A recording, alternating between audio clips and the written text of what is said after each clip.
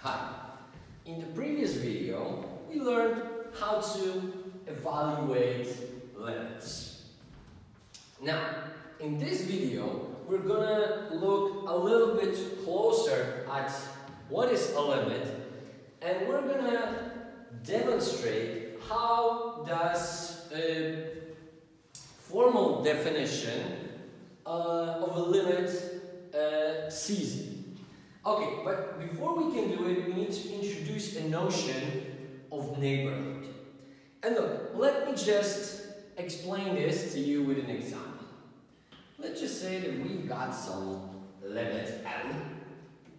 Then we can see that if I'm gonna take and subtract from L some A1, here to have L minus A1.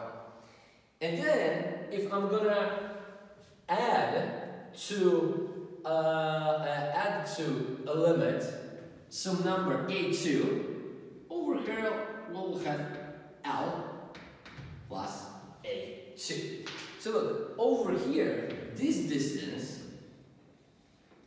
represents A2 well, this distance over here represents A1.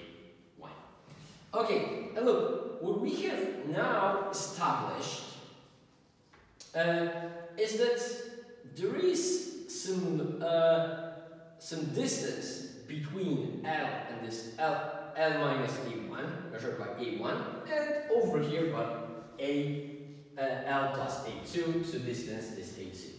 Okay, now look, this A1 and A2 can be either big, but we would prefer them to be small. Look, they, of course A1 doesn't need to be equal to A2, but they can. It's not a problem. But look, what do we see?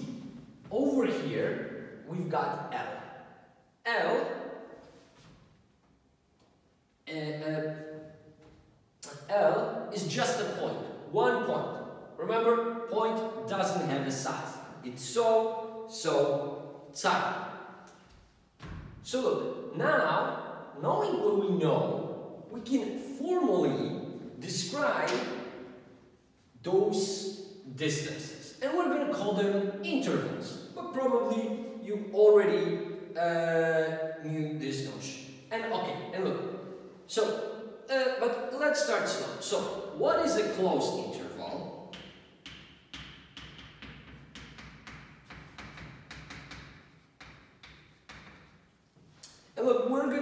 Now everything that we've learned during logics and the set theory to define what a closed interval is. Look, closed interval we will denote as this. L minus A1 uh, L plus A2. So here we have brackets, right? And this, uh, this interval we can now define formally. So we use three bars and we open another bracket and look, they're, they're all q's, all q's such as q, uh, q is bigger or equal to L minus A1 and at the same time uh, uh, and at the same time Q is smaller or equal to L minus A2. So look, we've actually, what we've done, we've written a formal definition of the closed uh, uh, uh, closed interval. A closed interval. Now, if we can define closed interval, we can of course define also open interval.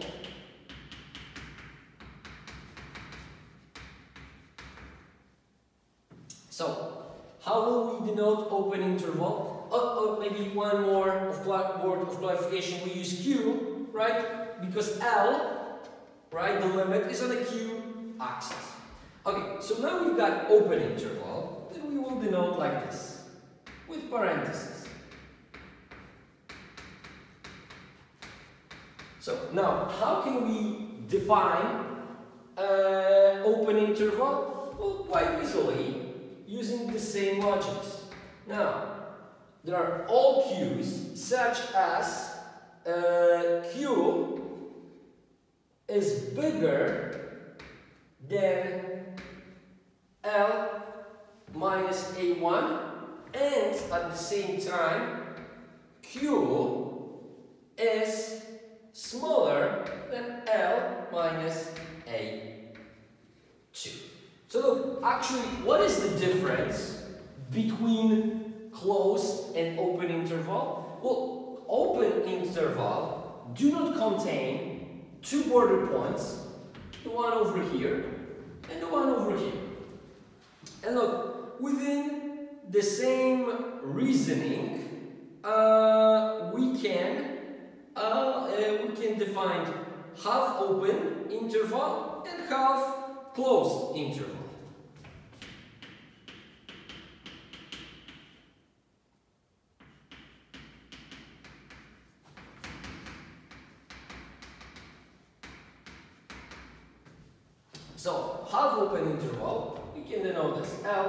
Minus A1, L plus A2. Uh, look, so how should we define it? Look, when we include points, we use brackets. When we don't, we use uh, uh, we use parentheses. So, what should we do in here? Well, those will be all the q's such uh, uh, such that L minus A1 is low uh, is lower than Q and Q is lower or equal to L minus A2. Okay, and I hope you know where I'm going with this. Finally, we will have half closed interval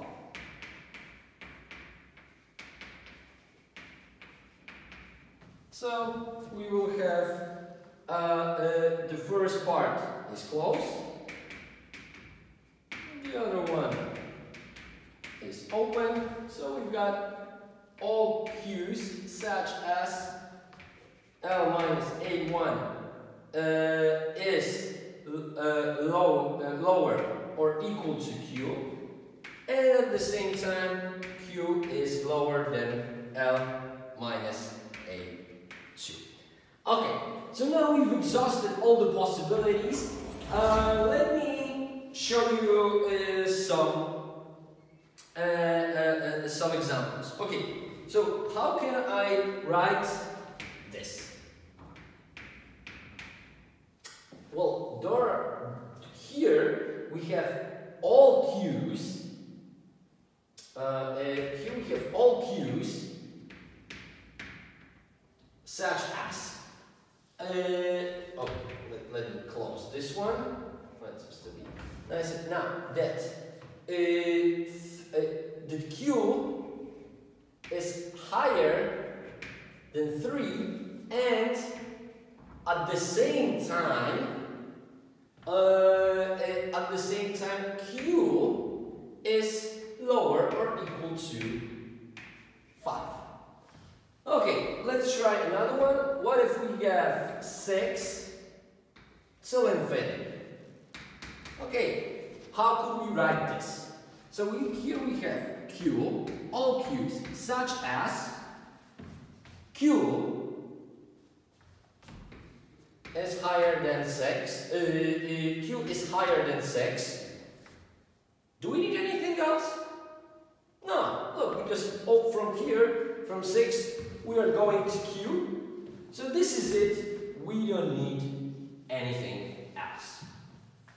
Okay, so look, when we will be talking about limits, we will use intervals to define them. But look, what we are interested in the most is to be a special case of interval that we are going to call neighborhood. Okay. Give a second, please. Okay, so. Neighborhood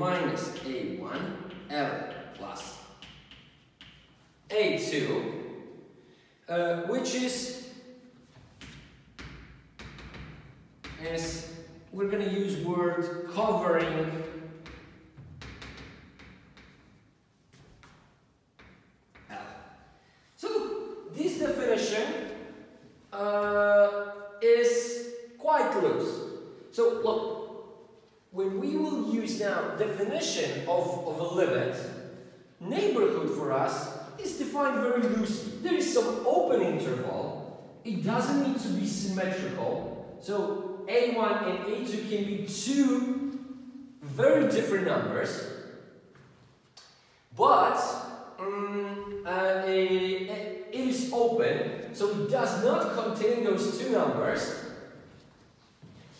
And what we are sure is that L is somewhere in between those two values. What we can clearly see actually just from this notation. Okay, so finally, now we can move to the definition of a limit. I'm going to read it to you and I'm going to be commenting on it. Okay, so formally, what is a limit? As v approaches number n, the limit q equals some function of v is the number L Okay, I hope you uh, uh this is uh, the, the, the, the, at this moment, right up to the moment you understand everything. So, as v approaches number n, so this is what we were doing. The limit is simply uh, the value L where uh, that q, now, uh, uh, if for every neighborhood of L that can be chosen, however small. So look, we are choosing some neighborhood around L. So, and we prefer to think of them as very small because that is the key to the limit. But this is this interval around uh, around L doesn't need to be symmetrical, as we said. There can be found a corresponding neighborhood of n. Well, so how would we call, uh, uh, how would we uh, call this neighbor, how would we define this neighborhood of uh, n? Well, that would be some n minus b1, because those numbers don't need to be the same. Well, by no means and n plus b 2. Okay, uh, excluding point n. Look, this is important. Now, what I'm going to do is I'm going to take this point up. Why? Look, I hope you remember the case when we were uh, showing graphical interpretations of limits, then we had a function that looked like this.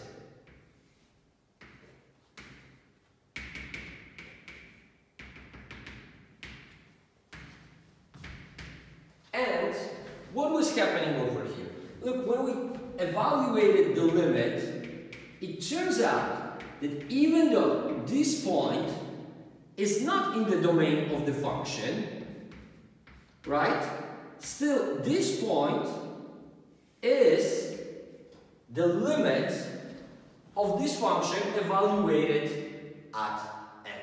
This is why, look, uh, in most of the cases we're going to be doing, this is not necessary, but this is a formal definition, so we need to take into consideration every possibility. Okay, now, in the domain of the function, such that for every value of v in the uh, uh, in the n neighborhood, its image lies in the chosen L neighborhood. Neighborhood. Okay, this last part kind of complicated, but not if we're gonna put uh, if we're gonna put this on the graph. Okay, so let me do it like this. So on this axis, we're gonna have Q. On this axis, we're gonna have V. Okay, and let's just say that we've got some function. Uh, doesn't matter how it looks. Okay.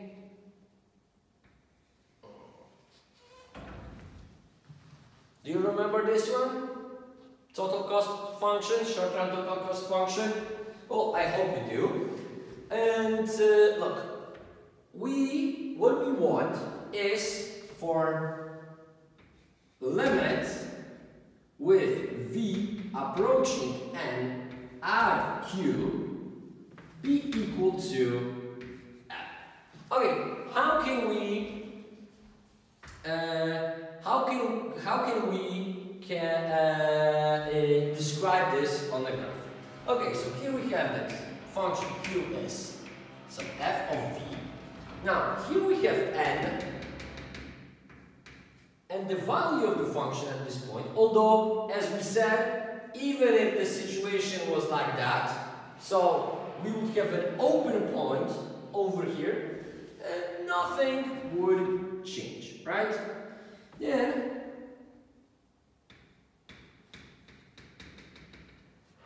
over here we will have some limit.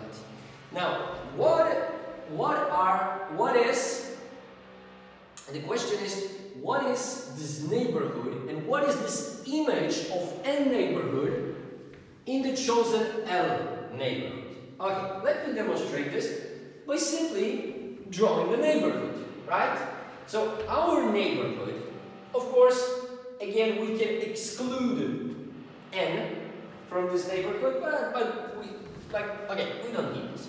So, here we will have some point, and here we will have some point n minus b1, right? So this distance over here is b1. And here we will have some point n plus b2. So this distance over here is b 2, right? Okay, now, what, now look, what is going to happen if I'm going to calculate the value of the function, uh, eh, of, uh, of this function at these two specific points? Well, over here, we will find the value of the function here is L minus some A1, right? This value, well, it doesn't need to be smaller, but if we would have downward sloping function, those things would be uh, uh, upside down, but everything else would still hold. But this is easier to understand, so I'm going to draw it like this. And here, we will have some L plus A2. And look, A2 and B2 are of course different numbers. It can happen that they are the same, but it's not a necessity. necessity, necessity. Okay, like I want to make it more uh, more parallel and more flat. Okay, and look, what have we done over here? What is this image that we've been talking about? Look, this point in the middle, we could say, well, it definitely, it has coordinates n, l, right? Now, what is happening around this point?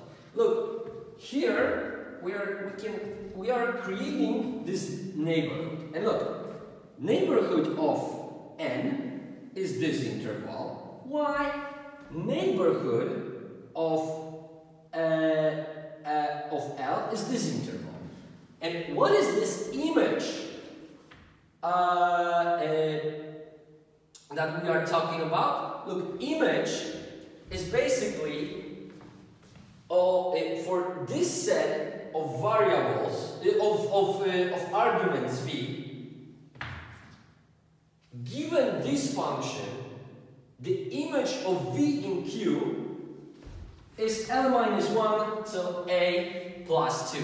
Because those are all the mappings that go from here to here. And we can read them from the function.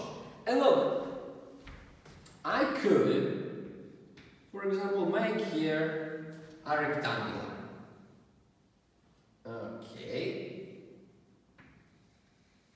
And look, we see, we see uh, that this rectangular actually is showing this image that we saw and we were discussing in the uh, uh, uh, in the definition. Because look, this side of this rectangular uh, is showing our, our neighborhood of n.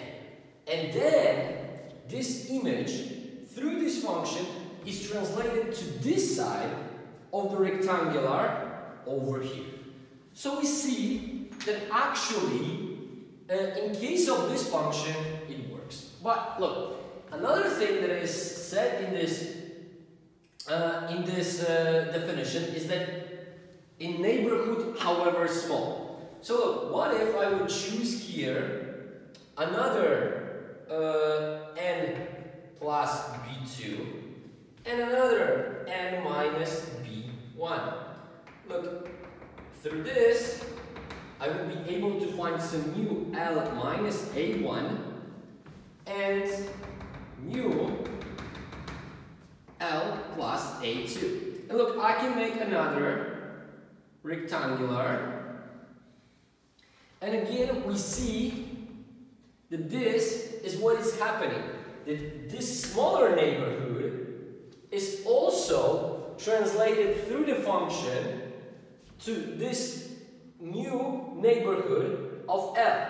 And look, doesn't matter how small will I go with the neighborhood, we will always have exactly the same situation. Okay, so we clearly see that in this case it works. But you might say, yeah, but this experiment uh, is not showing us much because we can do it for basically every function we know and it's still to work.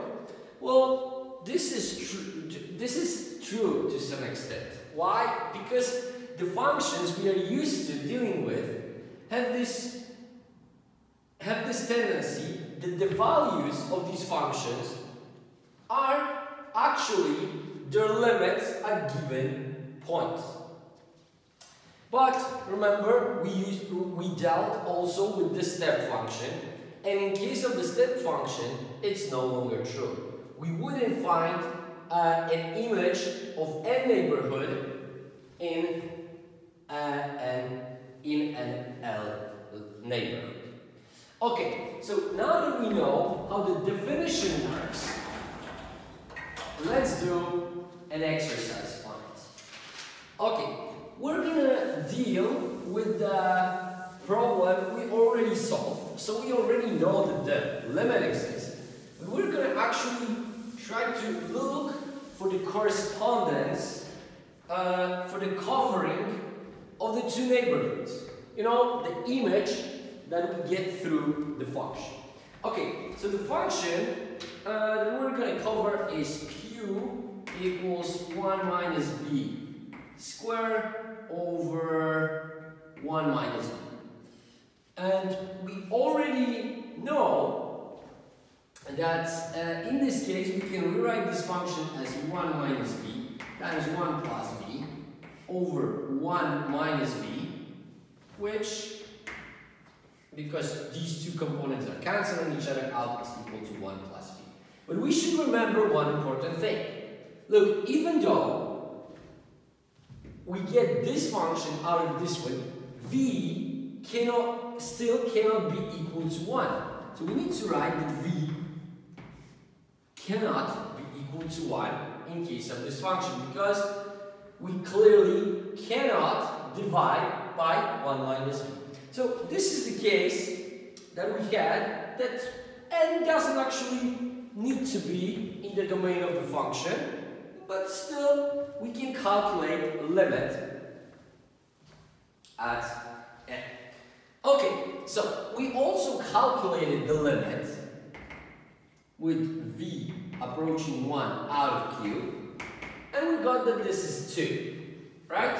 So, now let's see what we know. We know that n is equal to 1, and that l is equal to 2. Let's try to build the neighborhood. So, how do we do it? First, neighborhood on v, right? So neighborhood of n. So neighborhood of n will look as n uh, minus b1. Then we will have v, because here uh, we simply want to have any value of v in this neighborhood and n minus and plus b2. And look, by the same token, we can build a uh, we can build a limit, uh, uh, we can build a neighborhood for a limit, right? So we will have then L minus A1, but now limit is associated with the value of function, so we put Q over here, and we have L plus A2. Okay, but we know that the point at which we want to evaluate is 1, so I can substitute 1 over here, and over here we know that the limit is equal to 2. So I can substitute over here and over here. Do we know anything else? Yeah, look, we know that Q is equal to 1 plus V. Okay, so what can we do next? How about I'm going to take this inequality and I'm going to subtract 1 from it. Okay, as a result, I'm going to get that the, it turns into 1 minus a1 v 1 plus a2. Okay, now those two start to look very similar to one another, right? Yeah, they do. Look, now, if I'm going to set A, A1 to be equal to B1 and uh, A2 to be equal to B2, we will have the case that those two neighborhoods are covering each other. We actually find the rule of correspondence that is present in this case and because of that, we can be sure that L is actually the limit of the function. Of course, look, we got such a simple result because here uh, we've got a simple function. q equals 1 plus v is in our function. If we would have a different function, like we would have 3 over here, then we would have 3v over here, so in order to get v, what we would have to do? Divide both sides by 3. Uh, but look, it doesn't really matter that much. We can always as long as the limit exists, we can always find this rule of correspondence. But now I have the very good news to you, and it's that, look, learned already a lot about limits. We know what, are, what is limit, we know how it looks graphically, we know how, uh, how it looks from a formal point of view, but the good thing is when we actually calculate limits when we need them, we use shortcuts. And those shortcuts are hidden in the theorems that we're gonna uh, deal with in our next video. Okay, take